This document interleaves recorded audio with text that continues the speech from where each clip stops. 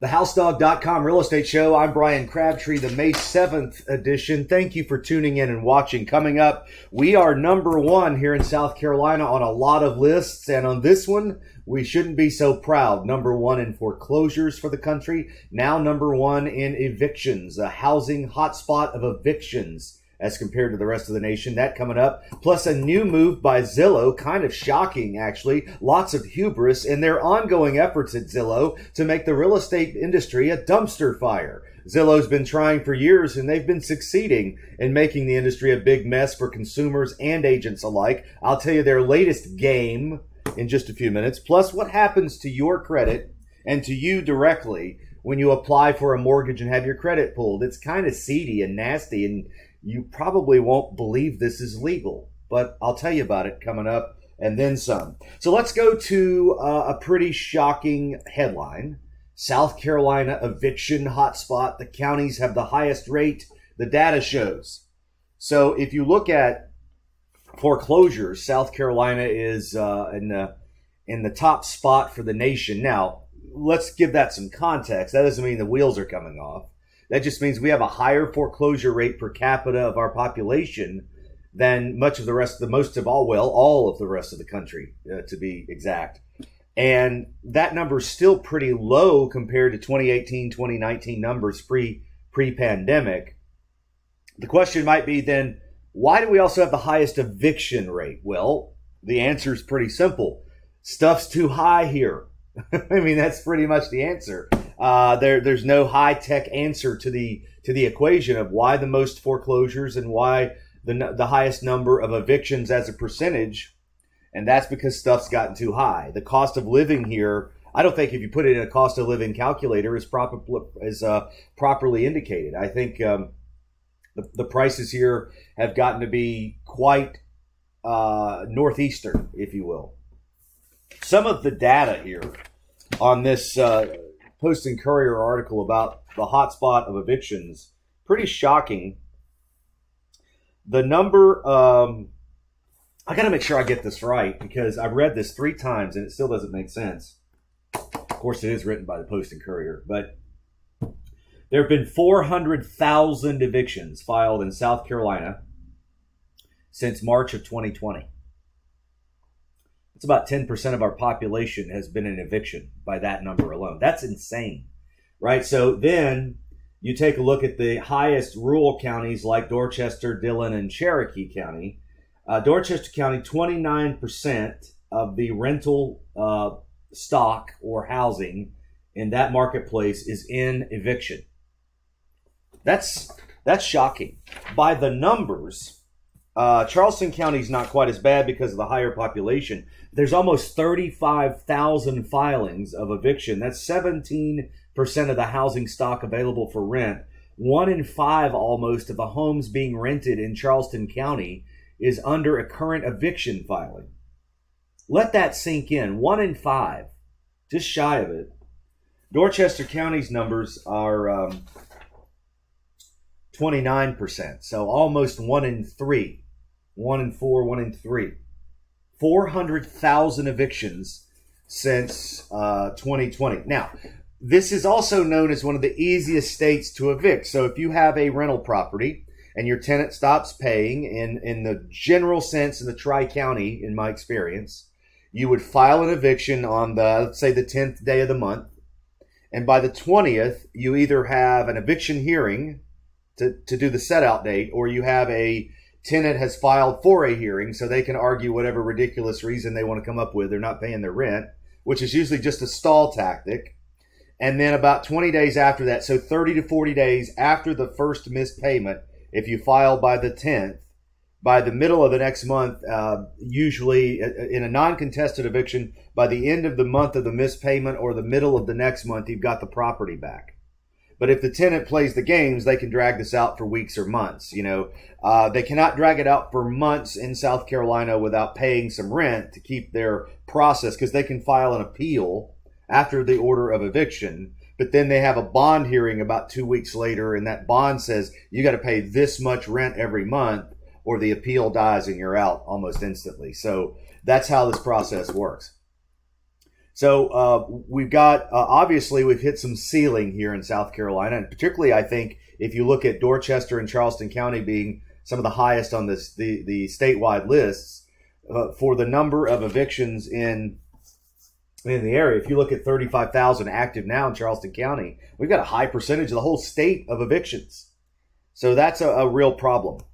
I want to show you something as we move along today. Let me minimize uh, my part of the screen and go to the images.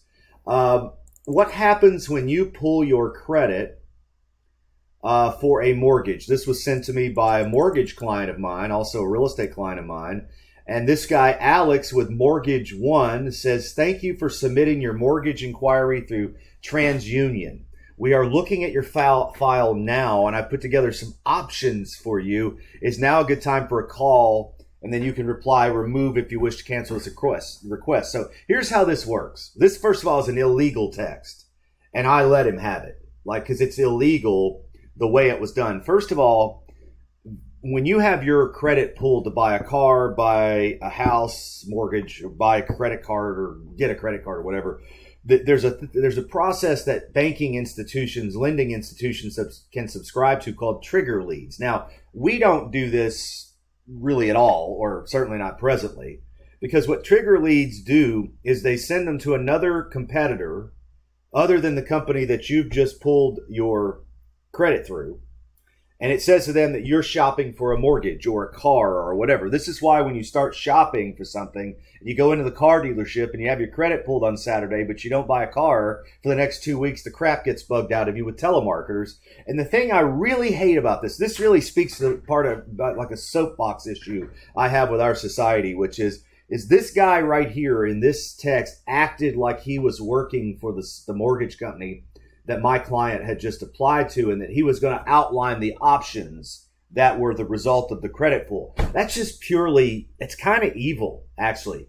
It's certainly misleading and it's certainly illegal because it's a misrepresentation in order to confuse consumers. So when you have your credit pull, um, there's so much that can happen called trigger leads that trigger then to other vendors who want to start trying to sell you things. Like when you close on a mortgage, this is inevitable. If you need a mortgage to buy a house, at the end of the mortgage process, you're going to close, and a couple of months later, you're going to get what looks like an official letter from the mortgage company that originated the loan, trying to get you to subscribe to some sort of title insurance or title lock or uh, mortgage uh, protection or if you disability insurance and then making it sound like you have to do this right? And most people catch these things. Most people know there there's something not right about them uh, most mortgage clients are a little confused so they will call me after a mortgage closing and say is this legit? And i'll say nope it's not. We don't send that out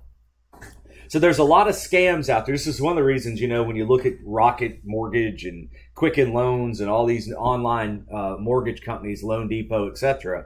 Uh, and you see these advertisings. There's advertising on on the radio right now for interest rates in the fours, and there's there's no pricing disclosure on it. There's nowhere to go read this from a local company. I think the Tabor Mortgage or something is doing it, and it's it's just those kinds of advertisements. Unless I'm missing something, are illegal. Like they're not legal because they're they're promoting something that is inherently not true. Or if it is true, there are so many conditions to that truth. Got to apply with this credit score, got to be over 800, got to put 25 or 30% down, got to pay three points at closing to get the rate bought down to that. Yeah, things you're just not going to do. But once they got you on the phone and they can let you down slowly on all those things, trap, they've got you. Well, what else in the process is going to go nefariously or against your best interest if it starts with misleading crap like Alex here at Mortgage One or get rates today at 4.99 when the best rates you can find is in the mid to high sixes. Like that, there's no magic wand. We're all lending in the same mortgage bonds market. So when you look at people advertising and misleading with the advertising in the mortgage space, that's a big black flag. Like I believe in red flags being enough to run away, but black flags are mortgage companies misleading you with who they are, what products they offer, how cheap the rates are when they're exceptionally below anything else in the market. All that stuff's illegal. It's not whether it's illegal or not, it's whether they're getting away with it or not. And it's not the place, it's not the horse to hitch your wagon financially because they will sell you up the river. Speaking of selling things up the river, uh, a lot of real estate agents and, and realtors, especially, are very upset at the National Association of Realtors because of the the settlement um, that occurred for four hundred eighteen million dollars, with a bunch of people suing, saying that hey, you were price fixing commissions. And my view is that the realtors organizations, uh, and especially the National Association of Realtors, can't stand it. They can't help themselves. They've been price fixing commissions in a indirect way for a long time by creating a scenario where you go into the multiple listing service to offer something less than X and it won't allow you because they're setting a minimum standard or making you pay people, right? Or fining real estate agents. I've been fined a few times by the multiple listing service in Charleston over the last 25 years for not doing something the way they think I ought to do it because it's part of the rules and regulations, policies and procedures, right? And so that's in essence a market power the Association of Realtors multiple listing service is a market power. What that what I mean by that is they control the power of display of listings of, of real estate for sale in the market. And so those of us, me, or any other broker, whether it be Carolina One, the number one company in town, and Michael Scarafile and all of his brokers and agents who run that company, or little old me here, just a couple of man show, uh, w- doesn't matter we have to do what the National Association of Realtors tells us to do, or else you'll be blackballed, right? And and they really can't do that exactly, but they certainly make it sound that way. So everybody is in compliance, you know, in the real estate business. And what's happened over the years is uh, well, people have sued and won, and uh, turns out that what I've been saying on these shows for two decades is true about the realtors. Uh, they did a 99 year contract with Realtor.com, a for profit organization, took that away from the realtors, and then they gave Zillow all the listings. And every time they get challenged by their nefarious behavior at the National Association of Realtors, they cave and they sell us up the river. Uh, and I'm not a member, for full disclosure, and haven't been for a long time. Uh, but uh, nonetheless, I thought I had a screen here with Zillow, but maybe I'll just have to describe it. Zillow's latest game is uh, that they want to uh, set up one week showings with people. You can go to Zillow, you can request a showing right there live in your living room at 12 o'clock at night, and tomorrow morning at 8:30.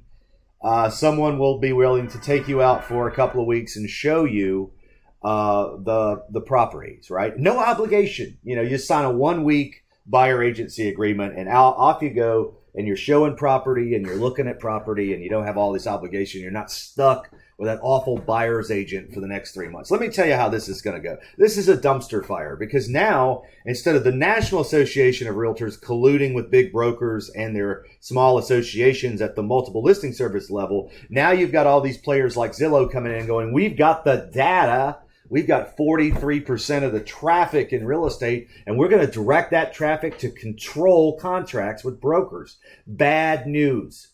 If you're doing anything with Zillow as a consumer, trying to sell your home to Zillow, trying to list your home on Zillow, for sale by owner on Zillow, uh, buying a home using Zillow for a mortgage, buying a home with a Zillow real estate agent. Listen, the Zillow real estate agents that are out there right now are getting, are, are paying $5,000 a month for like three or four leads. Okay. And then they close the deal and they don't make much because they're spending all of their money to buy you on Zillow. Or if they're not paying for leads, they're on a program that Zillow does called Zillow Flex. And they charge like a 35 or 40% referral fee. So that means that the agent already can't be flexible when they're a Zillow Flex agent. They're inflexible because they're having to pay a large fee. Here's the other problem with Zillow.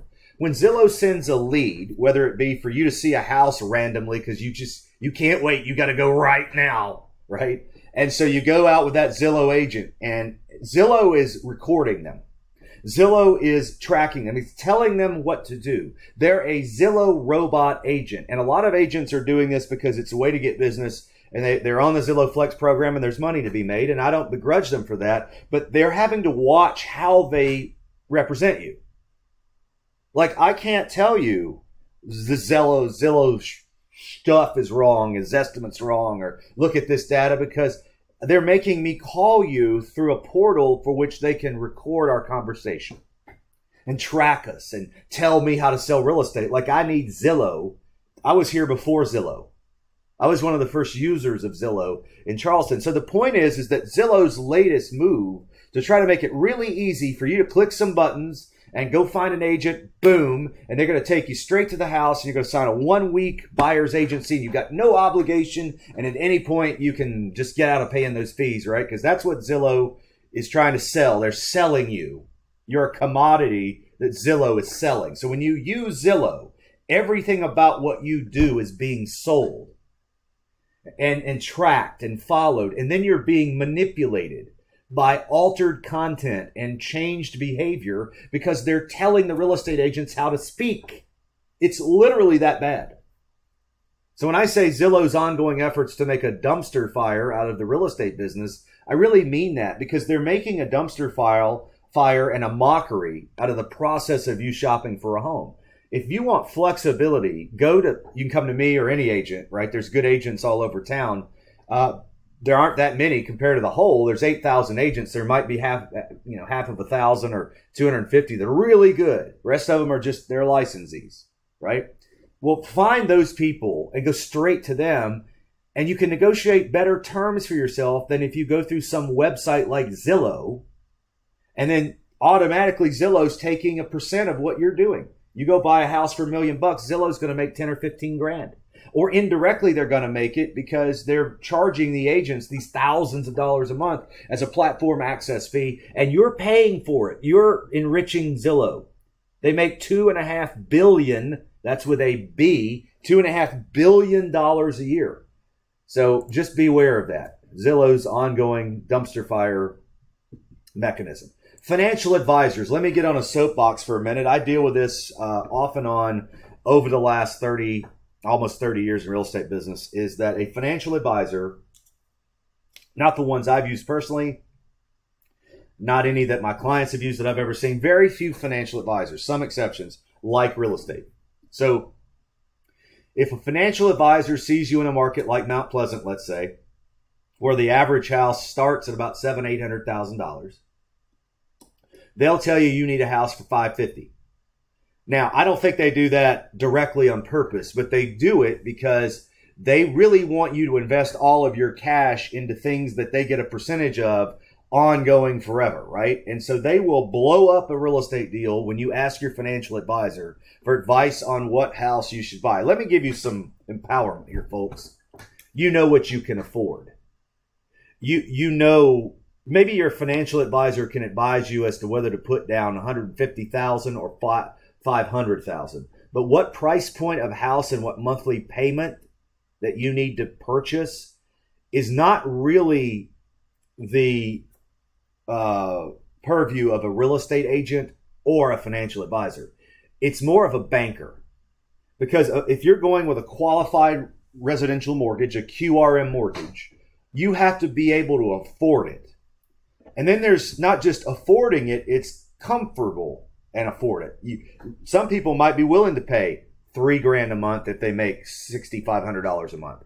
You might want to pay no more than three grand a month and you make 15 grand a month. So lifestyle is the decision. Taking the advice of a financial advisor, you've got it on your screen. The two reasons that they don't like real estate is they can't make commission from the sale of real estate, just financial products.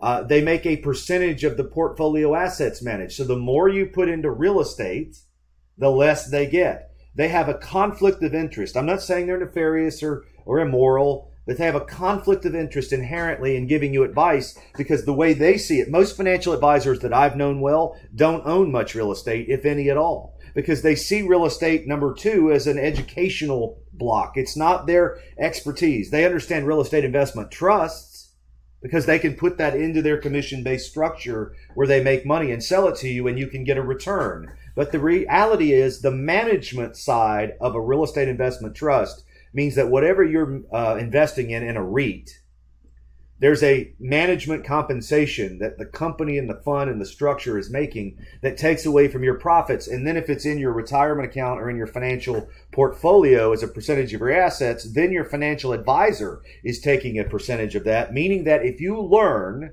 how to self manage real estate on your own, you're going to make far more money that way. You're going to make far more money self managing your own real estate because you're going to get the management fees that the fund fees would pay, and you're going to get your financial advisors clip, and that can be upwards of 10 or 15 percent of the of the cash flow return, right? So if you've got a property that's making two thousand dollars a month, if you had that same allocation of funds in a REIT, you know that's automatically going to be about $300 a month cheaper because you got to pay all these fees for all the massive bloated uh, bureaucratic operation of all this. I'm not saying it's bad or that you shouldn't have some in that. What I'm saying is is that it's not necessarily the best way for the small potatoes investor to get started investing money in a, various different verticals and vehicles and retaining the most return. I don't think uh, for the first time property owner and investor, whether it's buying your primary home, you need to make that based on what you're comfortable paying. What you're comfortable paying, not speculative, but what you're comfortable paying and what you can be approved for. Because you may be more comfortable paying more than you get approved for. That that's that's a problem. But that can be addressed. What cannot be addressed is you being approved for something and buying something you're not comfortable with. This is not a financial advisor question on your primary residence. And it's also not a financial advisor question on how you go about building a real estate portfolio. That's more of a banker question. That's more of a YouTube series of seminars, watching videos like this where we get into that stuff uh, as an ongoing topic. But it's not for a financial advisor who sells securities as a primary business because they don't understand it. Or if they do, they don't really want you going in that direction because there's no fees for that. All right, so um, let's go back to the screen here. A couple of more things to uh, uh, point out today. First of all, I want to get to this $12,000 in down payment assistance, free money. We'll close out on that today, but let me give you an interest rate thought. Rates are down a little bit this week, maybe a quarter. Had bad jobs numbers Friday that sent the mortgage bonds in the right direction for mortgage rates to come down.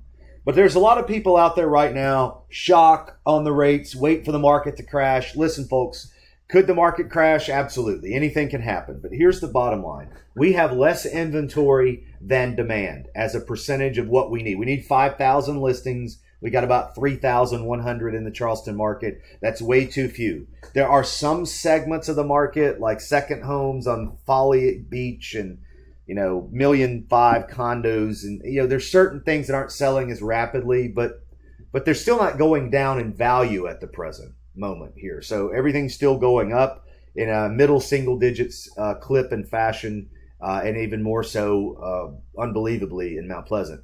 But in 1971, the interest rate for mortgage was 7.33. That's roughly where it was on Friday. So uh, mortgage rates haven't been at 7.33 as a market standard. They we've touched there and gone through that number, but they haven't been there since 1971 at a fixed, you know, kind of uh, no momentum. You know, we're not going through 7.33, just kind of where they are since 1971. If you waited from that point for interest rates to go down, you wouldn't have purchased a home until 1993. It was 1993 that a standard 30 year fixed rate mortgage finally dropped below 7.33. You would have rented at 100% interest, meaning that your rent payment is, is 100% going to someone else, not you. There's no percentage of that payment going to you. It's going to the landlord and to and or his bank. So you would you have rented for 22 years. So let's say you paid 24,000. That's like half a million bucks. About $520,000 give or take a little little bit there uh, that you paid out over 22 years on a $2,000 a month average rental. Uh, wow, that would have paid cash for a house or it would have paid off a mortgage it would have paid off a $250,000 mortgage. So the moral of the story is don't wait to buy real estate, buy real estate and wait. Now, the marry the house, date the rate statement, I kind of agree with because I think there's always that chance that you can, you know, marry the house, date the rate. Uh, and sometimes if you marry the house and you date the rate and the rate doesn't, you, you just stick with the rate like you do a bad girlfriend maybe maybe it doesn't work out so well because you've married uh, the house and you've got a bad rate and you can't divorce the rate. Uh, but in in in reality, at some point rates come down. Could be 22 years, could be 22 days, could be 2.2 months. I, I don't we don't know, but we think rates come down a point or two by the end of the year to the first of next year. That seems seems very viable. We get more jobs numbers like we had Friday might go faster than that. But let's say you can afford a 7% rate right now or six and three quarters, but you don't like the payment and you can't get all the house you want. Well, good news. You can always change that later because the estimate of the appreciation of houses by Fannie Mae, Freddie Mac, the Mortgage Bankers Association, National Association of Realtors, all of them on the average home, I think that's um, four hundred thousand dollars or so. It's about eighty three grand over the next five years. That'll offset all the interest. Now, if if, if appreciation doesn't go up, then everything I just said was BS, and you bought a house and you made no money and you spent too much money. But it that's renting right? If for the next five years you rent in today's market and for a three bedroom pay $3,000, $4,000 a month, which is about entry level for even an apartment in Summerville. I mean, it's not much cheaper than that. So let's say you pay $3,000 over the next five years in rent to an apartment. Well, wouldn't it have been better to have paid $3,400, $3,500 to own a home? And at the end of that time, have built some equity. Even if prices never went up over five years, you're going to build at least 25, 30, 40, 50,000 in equity at that price point. You're going to have, you're going to have that to work with, right? You're not going to be stuck. Or, or even worse, I know people that every year keep getting kicked out of their rental houses as prices keep going up. They go and rent a house, they get all moved in, they get comfortable, year comes by, boom.